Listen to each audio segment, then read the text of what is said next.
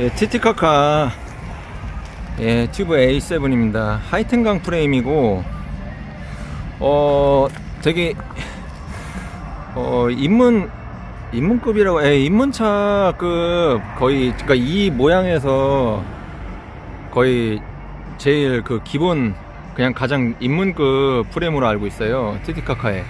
어, 갑자기 웬 티티카카 찍고 있냐면은 이게 어 이, 이거는 그러니까 그 티티카카의 모델을 소개한다기보다는 이게 지금 최근에 미벨동에도 많이 걸려있는 그 뭐야 예 자전거 고치는 사진작가 판다님의 최근 예 조립 기체예요. 그 본인이 지금 쓰려고 만드신 거고. 그래서 기존에 갖고 있던 거에 비해서는 되게 저렴한 편인 자전거예요 상당히 매력 있어요. 되게 막 그냥 되게 자전거, 자전거, 자전거 틱한 느낌. 왜냐면 재질부터가 하이텐강이잖아요. 그냥 철이죠. 나쁘다기보다는 이 하이텐이 어쨌든 분명히 저렴하고 그렇죠. 비싼 자전거의 재질은 아니에요. 근데 그냥 기본적인 자전거의 그냥 그 재질이죠. 기본이죠. 나쁘다기보다는 그냥 기본이에요. 되게 자전거스러워요. 근데 어쨌든 프레임 구조가 그 다혼 그 보드워크 양식으로 돼 있기 때문에 예 보드 보드 보드워크 양식으로 돼 있고 뭐 그러기 때문에 음 뭐 엄청나게 가볍진 않아도 되게 무겁지도 않아요 적절하고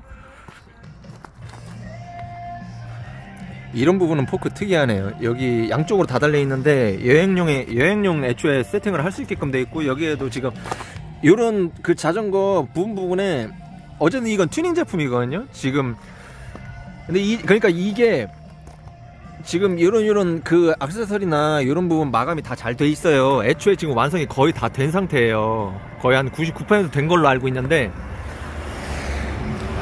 이거 이 자전거에 대한 컨셉은 딱 예, 되게 저렴하지만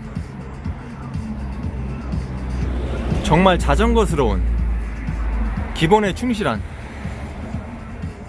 보시면은 일단은 그 판다님도 이걸 얘기하셨던 부분이에요. 애초에 기존에 제가 앞서 말씀드린 판다님 갖고 있는 자전거 치고는 자전거보다는 그 엄밀히 재질로만 얘기하면은 급이 좀 낮은 편이에요. 근데 어쨌든 그 기본적인 하이텐강을 그 일단은 프레임을 저렴하게 구하시고 그 다음에 나머지 튜닝을 했어요. 근데 튜닝도 되게 막 그 돈을 많이 그러니까 제가 하는 방식이 솔직히 좀 돈을 많이 들이는 방식이에요. 막 엄청 막 되게 막 그냥 막 심한 그건 아니지만 어쨌든 소위 말하는 상위 그 튜닝 그 상급 튜닝을 하는데 그러면 돈이 많이 깨져요 어느 정도 되게 극단적인 그 무게 감량이나 성능을 위한 그런 부분은 없지 않아 있지만 그 가성비적으로는 약간 떨어지는 부분이 없지 않아 있어요. 그렇게 되면요. 근데 딱 중급,